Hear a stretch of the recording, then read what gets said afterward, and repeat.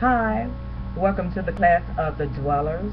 And we call you the dwellers because of Psalms 91, the first Psalms that we started our exercise with.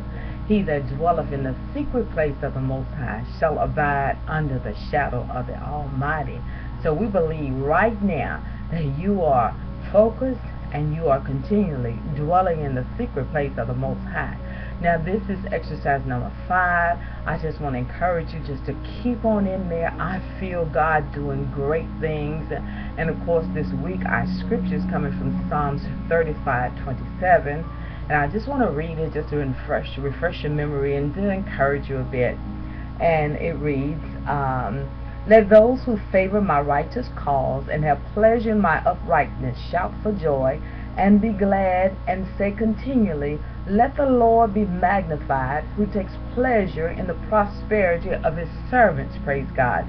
And so, of course, on this scripture, what we want to do this week is um, we want to uh, just meditate, continually meditate on that, and we want you to just get focused in the presence of the Lord.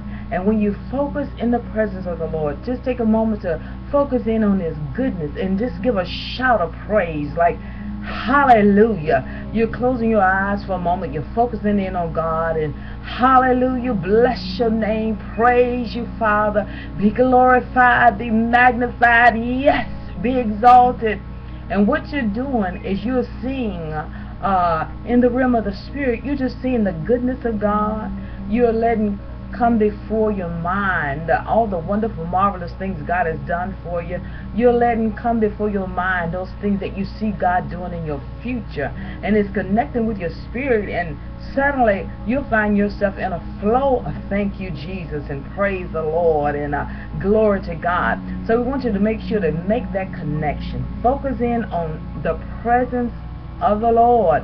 Is in his presence that we are changed so we want to be sure to do that.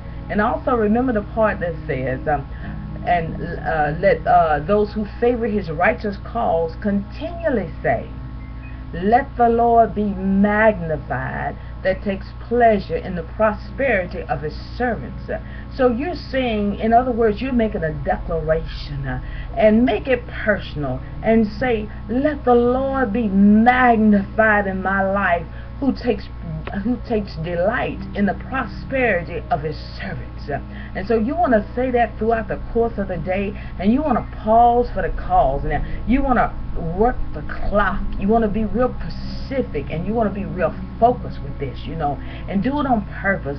You may be on the computer working on something else, and all of a sudden the Spirit of the living God will bring it to you that why not stop and take a praise break? Or why not stop and do some declaration? You want to do that. You want to make it a way of life.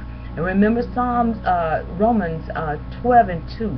Be not conformed to this world, but be ye transformed by the renewing of your mind, that you may prove what is the good and acceptable will of the Lord. We want our minds to be renewed.